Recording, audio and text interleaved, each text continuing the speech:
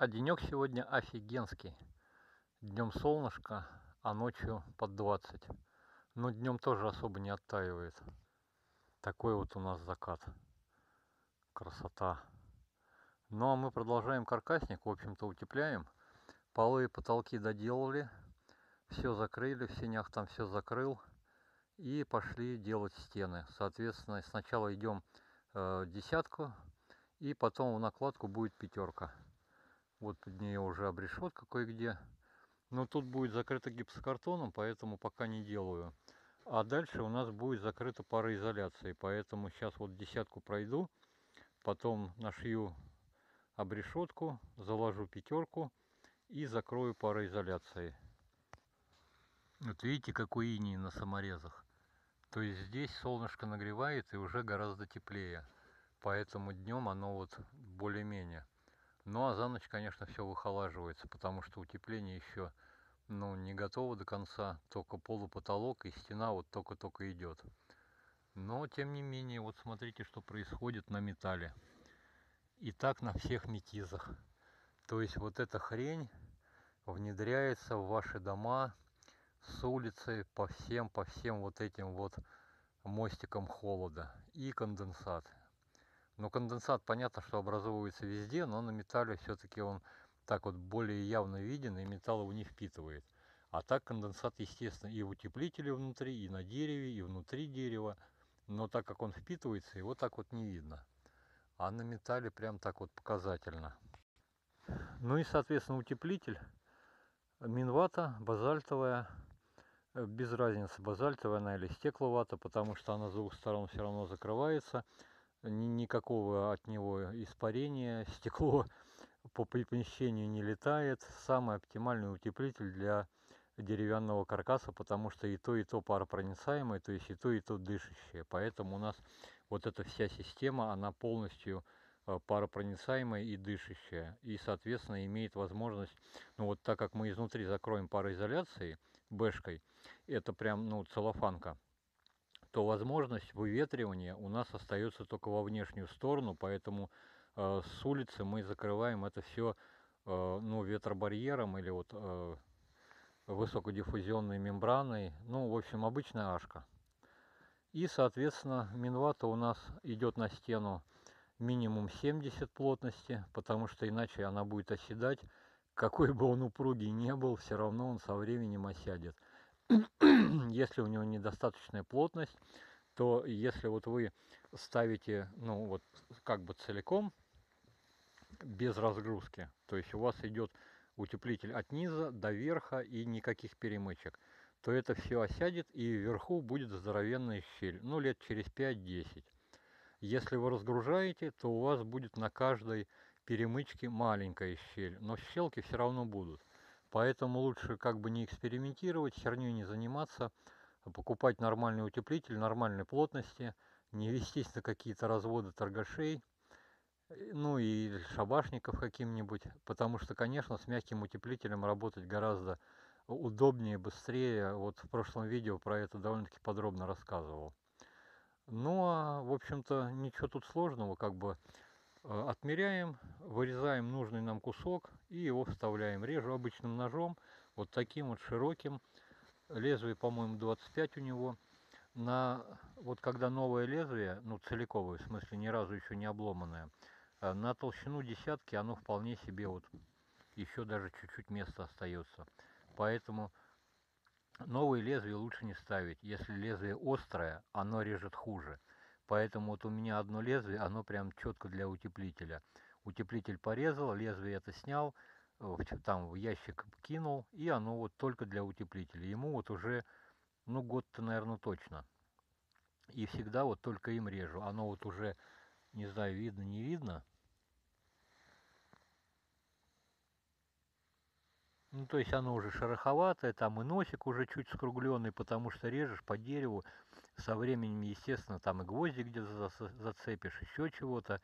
Но оно режет лучше, чем новое. Поэтому новое лезвие для резки утеплителя никогда не ставьте. Вот одно, и им все время пользуйтесь. И, соответственно, взяли рулетку, отмерили, отметили. Ну вот я отмечаю так, то есть вот воткнул нож чуть-чуть, и вот так его разошелся, чтобы вот эта вот рисочка была видна, потому что если просто вот так отрезать, то вот так вот чуть-чуть там или и ее не видно. А когда чуть-чуть в сторону ну, развел, и видно. Соответственно, со второй стороны взял какую-нибудь либо рейку, либо уровень, либо правило, пофигу чего, главное, чтобы было ровное. Положил и отрезал. И получается ровненько. Ну, причем как отрезал? То есть первый раз прошел, просто наметил, потом правило убрал, э, нож чуть поглубже утопил, прошел уже, как бы наметил, чтобы у нас был э, четко вертикальный перпендикулярный срез. И третьим разом уже на всю глубину вот так вот дрынь, и все, у нас кусок отрезан. Пошли его монтировать. С мягким утеплителем, конечно, гораздо проще. То есть его он и режется проще, и подгонять его особо не надо, потому что ну, он мягкий, его можно, если э, чуть-чуть э, меньше отрезал, то можно чуть-чуть разжать. Если больше отрезал, то поджать. А вот с плотным утеплителем такого ну, не, не, не получится сделать. Поэтому режем очень аккуратно, точно в размер.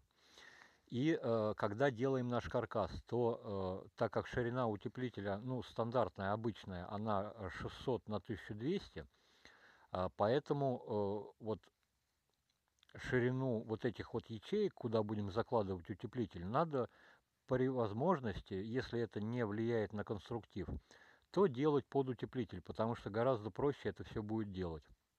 Потом, когда вот утепляем. Соответственно, если мы берем плотный утеплитель, то пролет, вот ширину вот этого вот лоска, в который будем вкладывать утеплитель, э, делаем на 5 миллиметров меньше.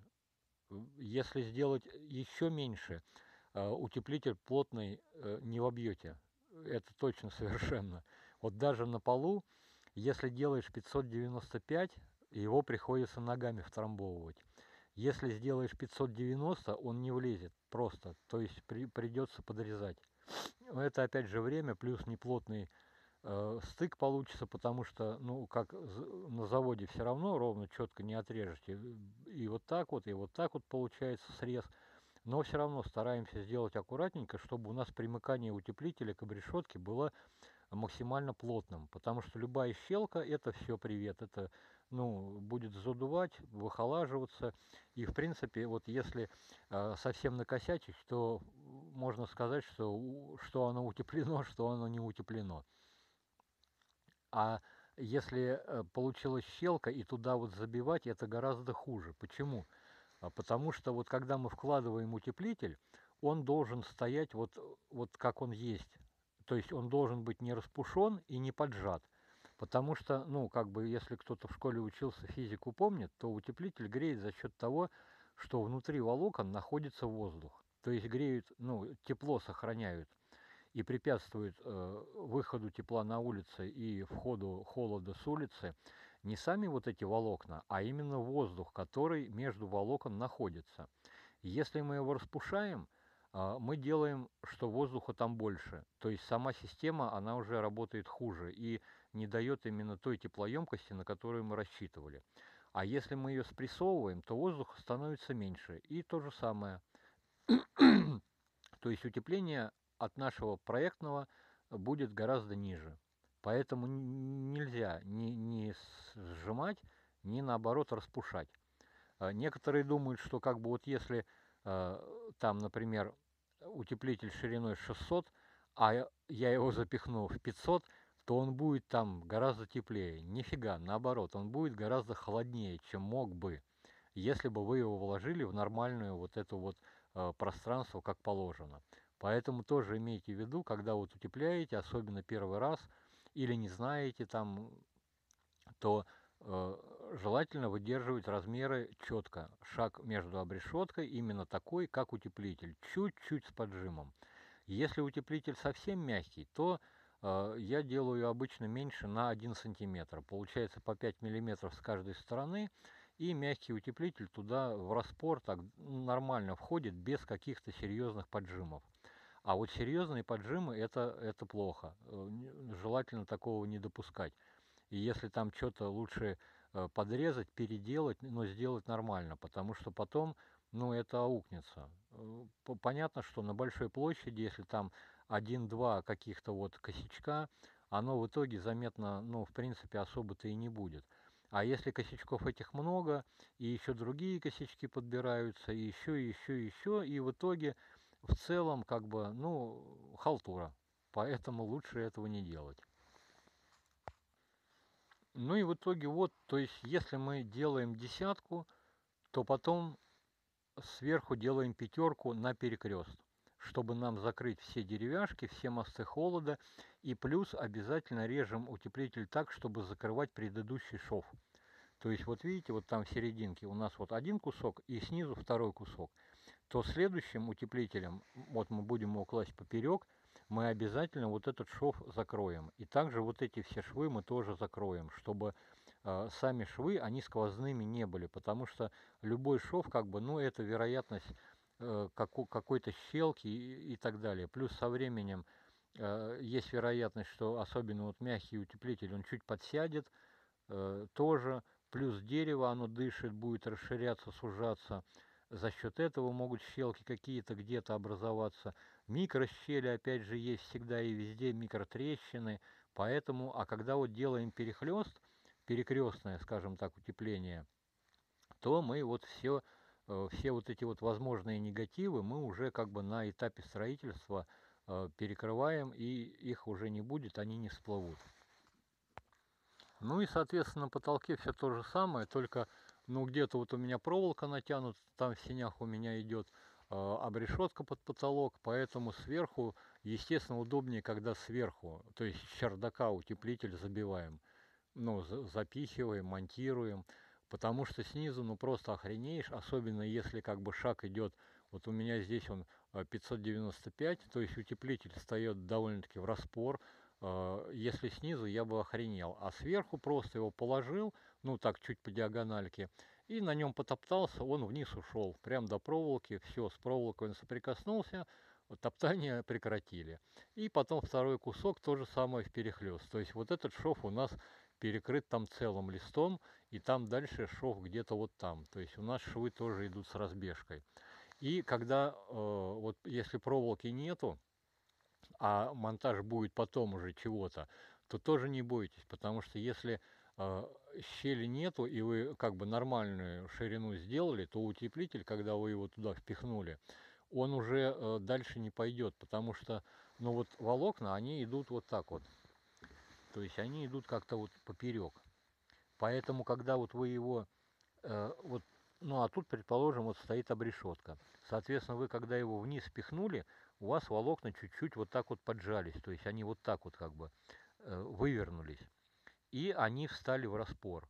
Соответственно, вверх уже его э, катастрофически сложно будет вытянуть, а вниз то же самое, за счет вот, вот этого вот изгиба волокон, они его держат. Поэтому тоже вот особо бояться не надо, что там утеплитель упадет. Он может упасть только если он совсем дохлый. Какой-нибудь там 30 плотности, еще ниже, потому что говна всякого на рынке, конечно, ну просто немерено. А если более-менее нормальный, ну, вот пол потолок, ну хотя бы пятидесятку надо брать. Ну, на мой взгляд. Э, можно, конечно, и что-нибудь совсем такое рулонное, но не знаю, мне кажется, эта хрень будет полная. Потому что все равно это осядет. Хотя бы там, ну, лет через 10 точно осядет. А за счет вот этого оседания, то есть вот если у нас, например, утеплитель стоит на стене, он оседает вниз, здесь появляется щель понятно, да, это как бы вот привет. А если утеплитель у нас лежит на полу, то он оседает вниз.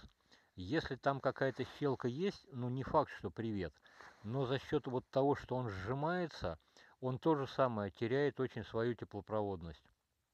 И получается, что вы э, планировали, например, там вот утепление пола потолка 200, да, вот в нашей широте это нормативный минимум. 10 лет прошло, у вас из этих 200 осталось там 170, 150. То есть это уже все, четверть э, утепления, можно сказать, что вы потеряли. Потому что утеплитель уже будет ну, не, не такую теплоемкость иметь, как проектную, как расчетную. То есть, в общем-то, вы рассчитываете на одно, а через 10 лет у вас получится совсем другое.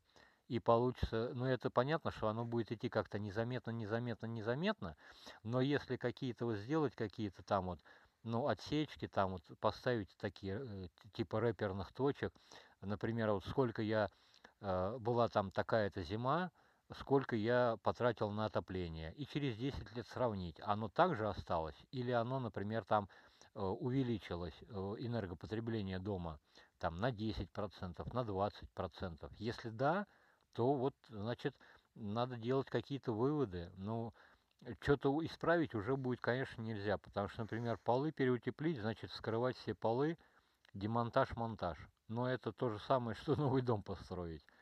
Со стенами, конечно, попроще, особенно в каркаснике. С потолком тоже геморрой. Хотя, в принципе, если как бы э, холодный чердак и там э, достаточная высота, чтобы ползать, то вполне себе можно, конечно, и либо поменять утеплитель, либо сверху положить еще один слой. Там, ну, смотря какой нужно, там пятерку, десятку, пятнашку, сколько надо.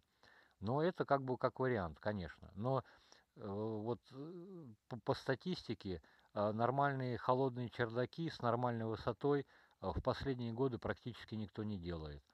Потому что все, не знаю почему, какая-то пошла вот такая мода. Особенно мансарды, полумансарды. Ну, с одной стороны, да, это экономия пространства, с другой стороны, э, ну, вот для конструктива дома это хуже, потому что, ну, оптимальный вариант это холодный чердак. Это лучше и для помещения, и для кровли. Но зато, конечно, придется тогда расстаться вот с той площадью, которую можно было бы использовать под жилье. Ну, тут как бы тоже и свои плюсы, и свои минусы, поэтому каждое решение принимает сам. Ну вот как-то так.